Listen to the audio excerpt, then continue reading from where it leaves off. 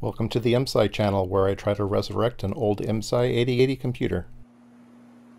Alright, so if you want to uh, get something just for your, just for fun, uh, this is an Arduino land. Uh, this is a SparkFun uh, board. It is a uh, SpeakJet, uh, which I believe is just a PIC processor that has some basically recorded pho phonemes in it. It is a phoneme generator, but I think they're sort of recorded into ROM. It doesn't have a lot of filtering and things like that, so it doesn't try to do glottals and all the fancy things. But it but it is a nice little board. It has a built-in uh, uh, amplifier, so uh, you can hook up a speaker, and um, uh, yeah, I'll uh, I'll give you an example of uh, of it talking. Danger Will Robinson. Danger. Here's the datasheet for the uh, SpeakJet chip. Um, it's much smaller. Um, it has a serial input, so it doesn't have any addressing or anything like that. So it's just, uh, I think it defaults to 9600 baud um, serial input. And um, has some other pins that are events, so you can program it to do certain things on hardware events. So it's more of a robotic type chip. If something happens, have it say something. Something else happens, have it say something else. But it is a phoneme chip. Um, let's see here. Hook it up to a speaker the same way uh, that you do the other the other chip. Uh, so here's how it works: as a serial input, um, a buffer uh, to watch the data come in. And then there's this MSA, which is basically all of the uh, ROM coding of all of the phonemes. Um, and five channel synthesizer. So they are trying to break it down into certain uh, parts of the voice and, and add and subtract them uh, to create to create sound. Um, you can see here's how here's how they say they're doing it. They have uh, different oscillators, uh, and envelope generators, distortion, and they mix those together in different ways. So, um, and it's a pulse modulated um, signal output. So, and let's see, I'll skip to the end here. I think uh, there's a bunch of stuff that you can have it do, but uh, the interesting thing here is the uh, uh the hex patterns that you, uh, these are actually decimal, uh, the, the patterns that you send it to do different things. So these are all the phonemes and the associated numbers that go with the phonemes. Um, there's also a bunch of, uh, uh, up here in the 200s, there's a bunch of uh, beeps and bops, uh, robot sounds, R2D2 sounds. Uh, so that's kind of cool. If you're building a robot, you can make it sound like R2D2. They're, they're encoded pretty nicely. Um, so anyway, it is a fun chip. Um, I don't know why they haven't caught on, but I think you can still find them. It's package nice.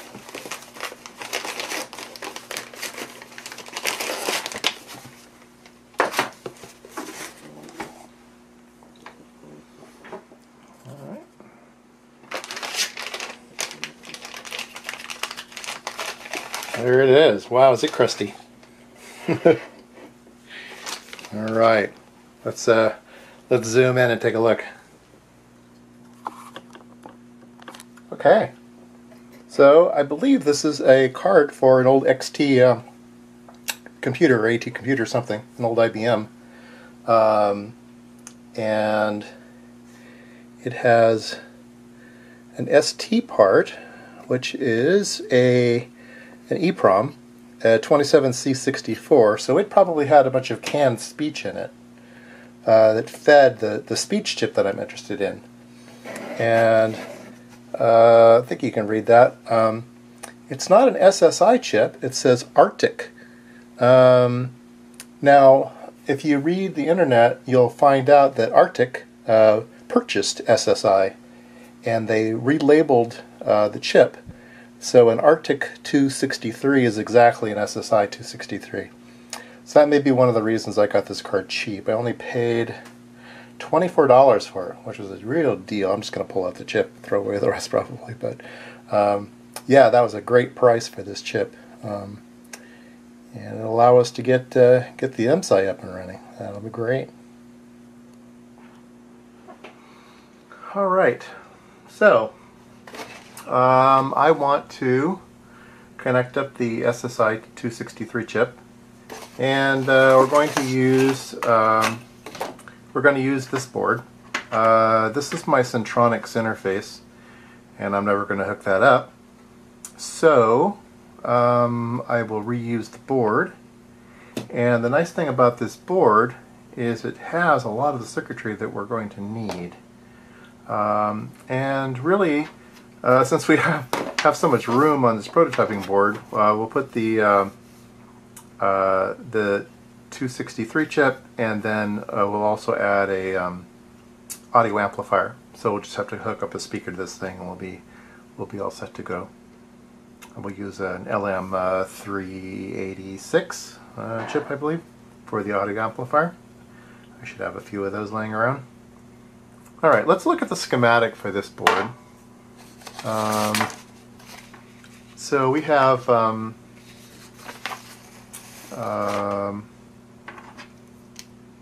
we have uh, eight data out lines and eight data input lines and we have buffers for those. So if we want to send things to data out, there's an enable pin, and if we want to bring data in, there's a not enable pin. So this one's uh, low logic, this one's high logic. So we have to keep that in mind. And then the other thing this provides is a, um, a way to take a look at addressing and see if we are, at the right address or not.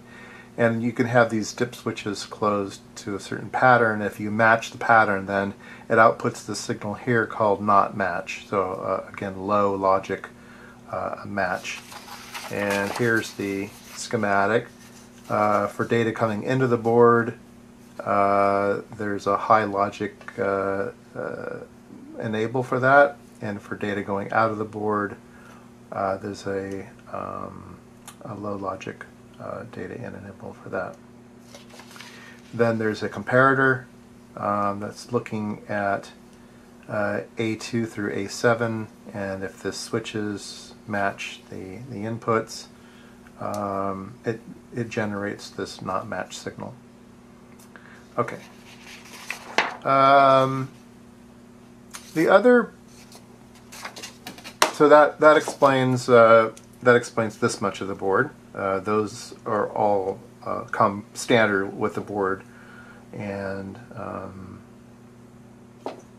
I've added two chips uh, for the Centronics interface. So let's take a look at what I added. I added this circuitry, which is basically a bunch of AND gates.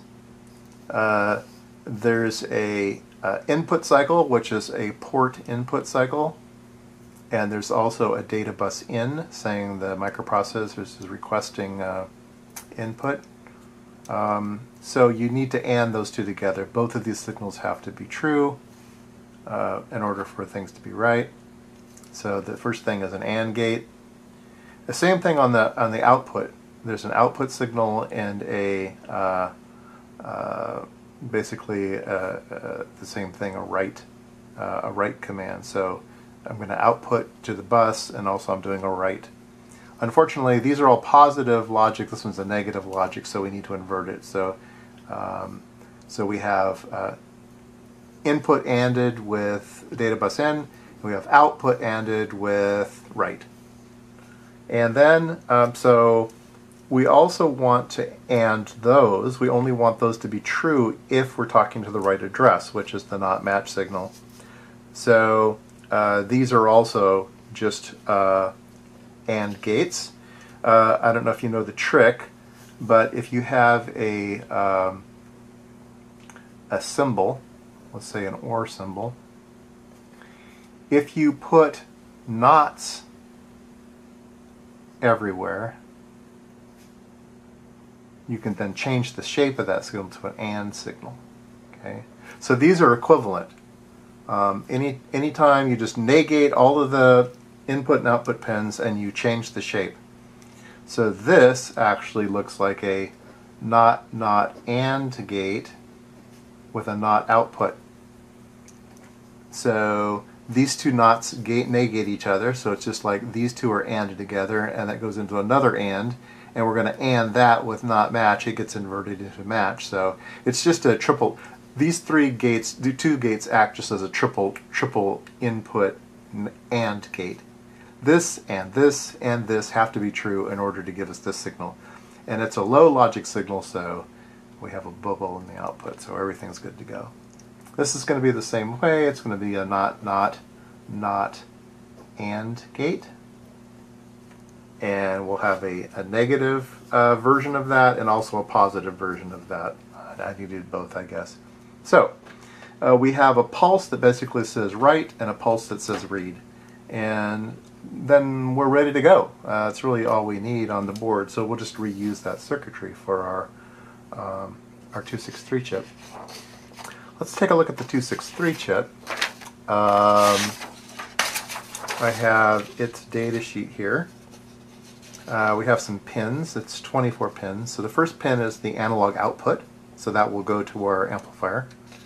Uh, analog ground, uh, a don't use pin, uh, an acknowledge pin. So this is going to be a handshake signal back. So uh, the only data that goes into that chip is an 8-bit word, and then the only data that comes out of that chip is one single bit, and that's this bit.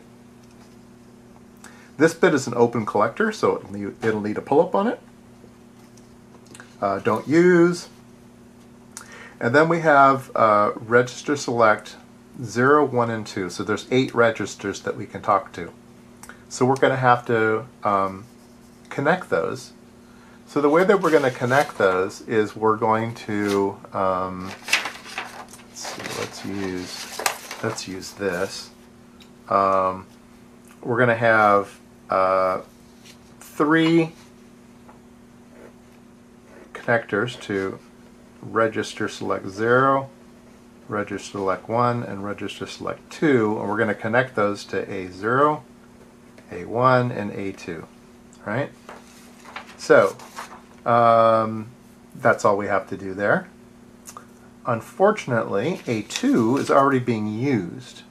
It's part of this address select. Bit 0 and bit 1s are not used, but bit 2 is used. So we're going to have to uh, cut this and um, not use it. And uh, we will wire that over to here. So we will use bits A0, A1, and A2 for the three registers. And then we have data bus 0, 1, 2, digital ground, 3, 4, 5, 6, 7. So we will take eight data lines into the chip. And those will be these eight. Uh, these go into the uh, card. So we'll wire these up to the um, uh, to the chip. These are going to be uh, D0 through D7. Okay. And then uh, we need to get one out of the chip. Uh, I guess we can use data bit 0. Uh, that's going to be going to this chip called, a pin called A slash not R. A slash not R. It's open collector, so it will need a pull-up. Okay, so that'll go out. And then we also have a, a reset, uh, let's see, a reset low so we'll just pull that high. We have a chip select input, we'll, high, we'll pull that high. Chip select output low, we'll pull that low. So this says don't reset, chip select, chip select. And then um, we have a, uh, a write or a read. And I believe we'll just be able to tie that to uh, write only. So we'll just tie this low just enable the right part of it. Um, you don't need a, uh, this pin is independent. You don't need to tell the direction of this pin, it's always an output. Uh, these data lines, D0 through D7, can either be input or output, but we're only going to use this as input. We're only going to write to this device. Then clock, we'll have to find clock on the, um, on the S100 bus.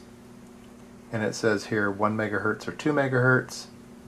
and there's a divider internal to the chip. You can divide by two if the clock is two megahertz. So I guess it's looking for a um, a one megahertz clock. So we'll use the oscilloscope and we'll um, use my um, my little card. We'll use this card to go probe some signals.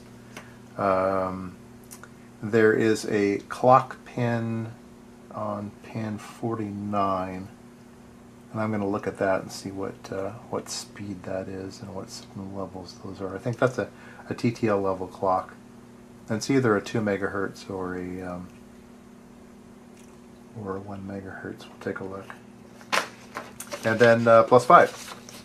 So there we go. Uh, we should be able to then hook this thing up. Uh, I looked around for people who have done this on other um, circuits. I found an Arduino project where somebody hooked up a uh, 263. So they have uh, A0 going out to a speaker connector, the ground. They use that A slash R chip coming into the chip. Here's their pull-up. So that's that open collector. They're sending it into, into uh, an input into the Arduino. Uh, they have uh, three pins here for RS0, 1, and 2. They can select the eight different ports. And then the uh, data bus. And then for the reset and chip selects, they just have them tied high or low to always enable the clock. Uh, read slash write, they have connected to somewhere. So they probably have it connected to a pin to be able to do either one, but I don't, I don't care about reading, I only care about writing.